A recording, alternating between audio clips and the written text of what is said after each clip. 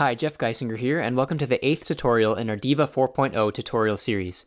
Today we'll set up a basic energy model using Archsim, and we'll go over the essential Grasshopper components that we'll need to run a monthly heating and cooling load analysis for a single thermal zone. In Rhino, we have a single zone modeled here.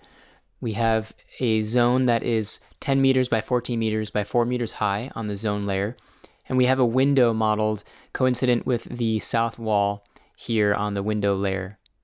It's important to note that for Archsim, the Rhino positive y-axis is north for an energy simulation. So to begin, we will create a thermal zone using the thermal zone component in the Archsim components tab. Now this thermal zone component will transfer the Rhino geometry that we input into a format that's legible for the underlying simulation en engine for Archsim, which is called Energy Plus. So we'll place a BREP container on the canvas and assign the zone geometry to that BREP. To create a simple zone from Rhino geometry, it's important for the Rhino zone to be an enclosed volume. And so that's what we have here for the single zone. So I'll go ahead and plug that into the BREP input. Now we can provide an optional name for our zone. I'll go ahead and call it example zone. This will tag the specific zone for our output results. And for the settings, I'll use the settings button here. And this is where we can configure the different internal loads, conditioning settings, and materials for our thermal zone. For people, I'll, I'll go ahead and change this to 0.1 uh, people per meter squared. That's about 10 meters squared per person or 100 square feet per person. And I'll change the occupancy schedule to occupancy office. This means how often are these people actually in the space. And the, the office occupancy is uh, there's no one really there at night um, or, or, an early morning, and then in the morning there is an increased occupancy and uh, higher occupancy during the day, and then tapering off in, in the late afternoon, and no one there again at night. So for the equipment, I'll also use the equipment occupancy schedule for an office, the equipment schedule, excuse me, for an office, and I'll leave the default watts per meter squared value for the internal gains, uh, equipment gains is 12.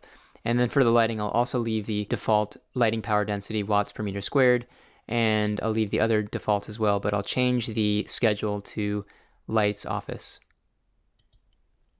Now for the conditioning tab, I want to make sure that I have heating and cooling turned on and they are checked because the objective of the simulation is to run a monthly heating and cooling load simulation.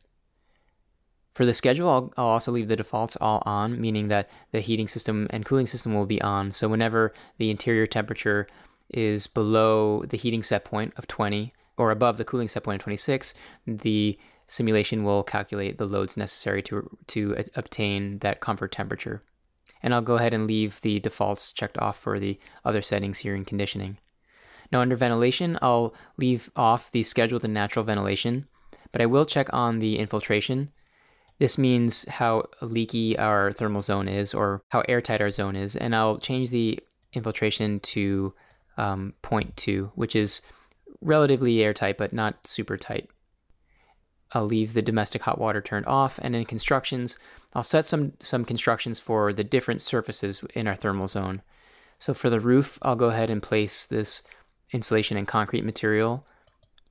We don't have to worry about partitions and slabs because we have only a single zone. If we had multiple zones, the, the demising wall between two zones would be a partition. And if we had two zones stacked on one another, the floor that separates them would be a slab. But since we only have one zone, we can leave these out. Now for the ground floor, I'll go ahead and select a concrete material, but I'll check adiabatic. For this simple exercise, I don't want to really consider any kind of heat exchange with the ground, but at the same time, I, I don't want to consider the ground um, as touching the air. So if um, if I want to just kind of take that out of the equation, I'll and make sure there's no heat transfer. I'll, I just check adiabatic. Now for facade, I'll go ahead and select the same material, um, the 120 millimeter insulation and 200 millimeters of concrete.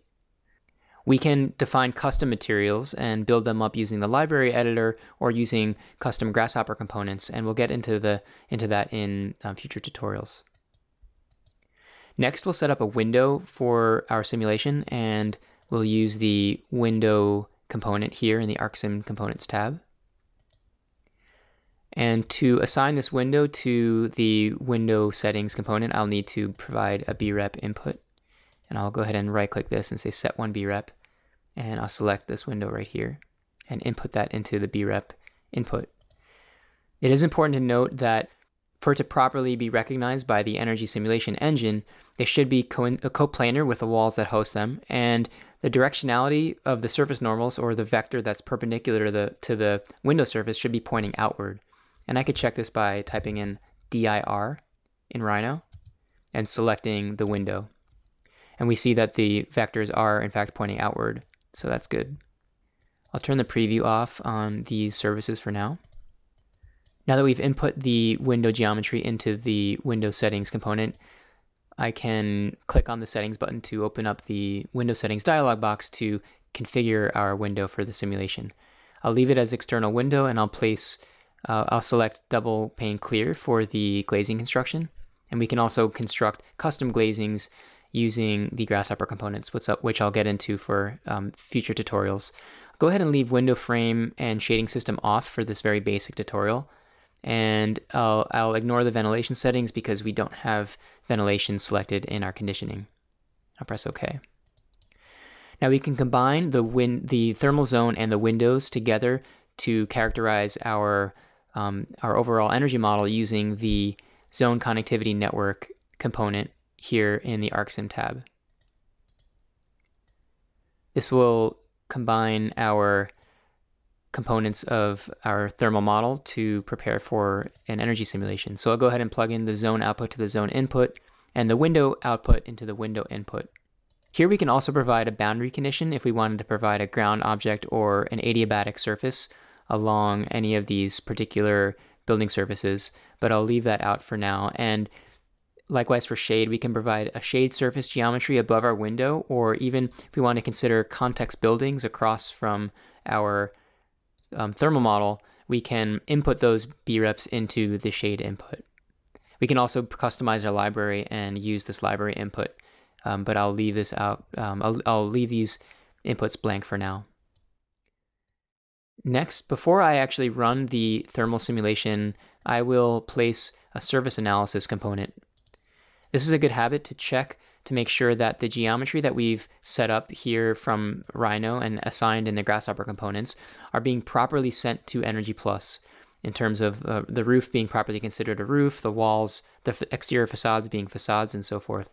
So I'll plug the model output into this model input.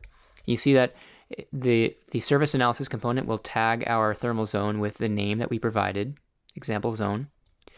And if I now place a BREP component onto the canvas, I can plug in the different components of the surface analysis, um, the different outputs of the surface analysis component into this BREP to see how Archsim is treating our geometry. So by plugging the facade output into this BREP container, we can see that the preview geometry is the four walls that are surrounding um, our thermal zone. They're bounding the walls of our thermal zone, and that's correct. So we we know that all of these surfaces are facing the exterior if we had two zones next to each other, we would expect for the the demising wall to not be exterior facade, but rather be a partition. But since we only have one zone, we don't have any partition elements. And the same with ceiling. We don't have two zones stacked on one another, so we don't have any ceilings being previewed. However, we, we do have a roof, so I could plug the roof output into this BREP, and we can see that the top of our thermal zone is properly being considered as a roof. Same with the external floor and with the window. And this is pretty straightforward with a, a simple shoebox geometry that we are modeling today. But with more complex geometries and with multi-zone models, it's always a good idea to check the geometry using the surface analysis just to make sure that facades are, are actually considered facades, um, partitions are properly assigned and not considered as surfaces facing the exterior, roofs are considered roofs and so forth. So this is always like a good check.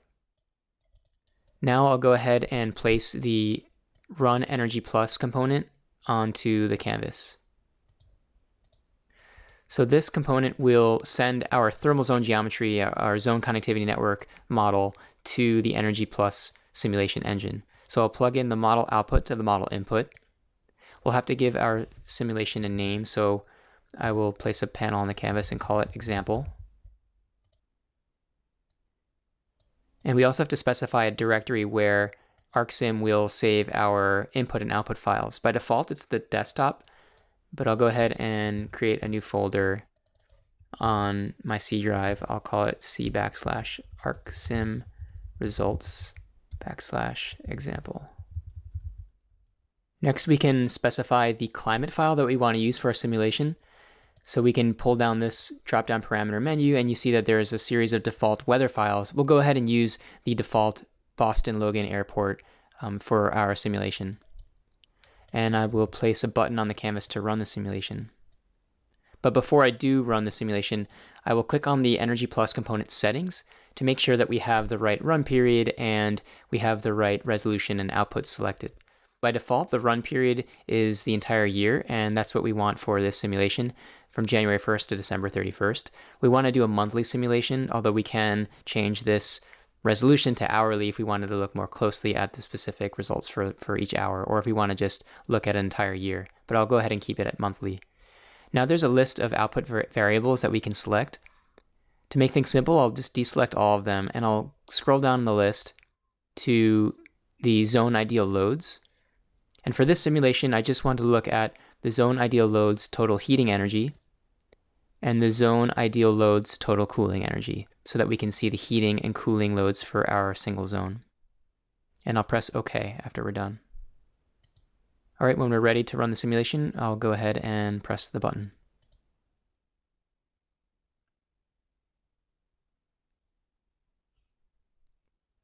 So when the simulation is complete, we can go to our directory where we have saved our, our input and results file. So it's in the C drive Archsim results, and then it's created a folder called example.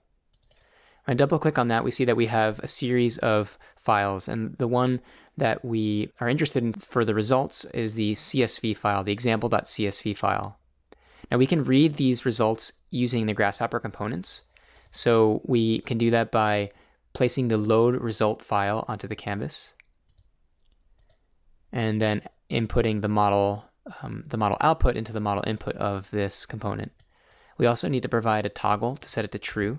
So I'll place a Boolean toggle onto the canvas to initiate the results reading. And then by clicking on the outputs button, you see that we have we have the option to select multiple zones um, for these results, but since we just did one single zone um, called example zone, we, we need to check that. That's the only option we have. And we have the options for the different output variables, and I'll go ahead and click on both of them, heating and cooling energy, and press OK. Now we can place a panel on the canvas and view the results in the form of a grasshopper tree. So you see that we have a tree with two branches. Each branch is a list of monthly values for the heating load and for the cooling load. Now we can work with these values further in, in the Grasshopper canvas. Um, also, we can look at these results directly in the CSV file, and um, we can open up the, C the CSV file to access the data directly in a, a CSV reader like Microsoft Excel. And you can see that here the results come up as three columns. We have a column for the date and time, and we have the months of the year. And then we have one column for the total heating energy in joules. And we have one column for the total cooling energy in, in joules as well. And so these are the ideal loads. They're not um, converted for um, energy for energy use in terms of coefficients of performance or anything like that. These are really just the ideal heating and cooling loads to maintain the set point temperatures within our thermal zone. And we can select all this data and in the Excel graphing tools, we can create a quick line graph of our data to visualize the um, difference between the heating and cooling loads along the course of the year. Great, that wraps things up. We set up a, a simple thermal model for heating and cooling loads using a basic shoebox geometry in Rhino. And um, I hope you'll join us for our next tutorial. Thank you.